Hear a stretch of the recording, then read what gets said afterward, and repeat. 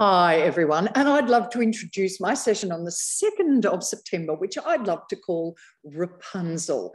Now, at the beginning of COVID, my sister died. And while she was lying in hospital and her friends were coming in, she'd turn to them and she'd say, This is my sister Louise. She's a motivational speaker.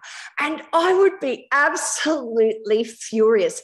I am a content expert what's happened over COVID is that I realized that I live and breathe working with audiences, making them laugh, having people around me, and motivating them. I am a motivational speaker and I now own it. Thank you, COVID.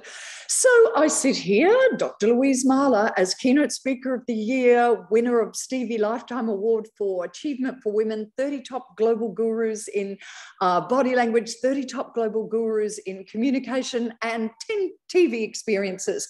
I sit here talking to you with my nails falling off, with my hair going grey, with people not believing that the work I do is transferable to a digital environment, people not having any budget, and nobody answering the phone.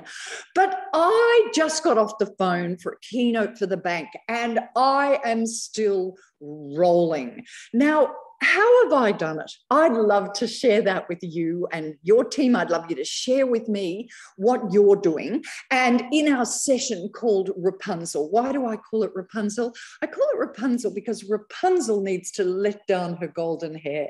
And I want you to let down your golden hair. So, Rapunzel, Rapunzel, let down your golden hair, which in German is Rapunzel, Rapunzel, lass deine Haare herunterfallen, which is not quite as sexy, but we're going to do it anyway. I look forward to seeing you there on the 2nd of October. Please join me.